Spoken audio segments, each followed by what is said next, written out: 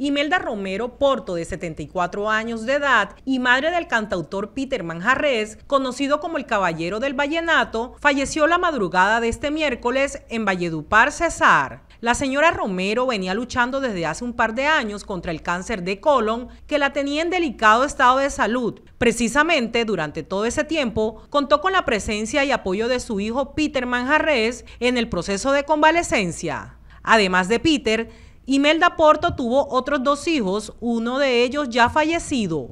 Durante el carnaval de Barranquilla, el músico había tenido una polémica con uno de sus colegas al que le pidió el favor que le cediera el turno para él poder terminar más temprano en el concierto y así viajar hasta Valledupar para poder ver a su madre. Ante esa negativa, a Peter no le quedó más remedio que cantar en el horario estipulado y salir más tarde para ver a su mamá. Al final, se supo que fue el cantante Diego Daza el que se negó a la petición.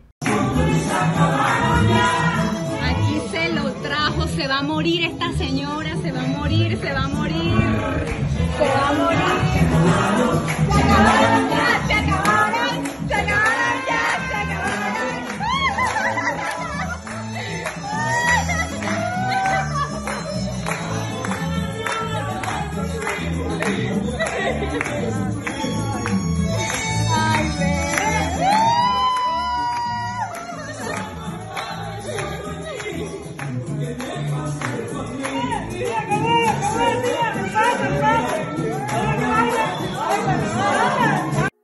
Ricardo Rojas Osorio, especialista en moda masculina y femenina. Diseñada y confeccionada de manera exclusiva. Agenda tu cita en el celular 318-401-0676.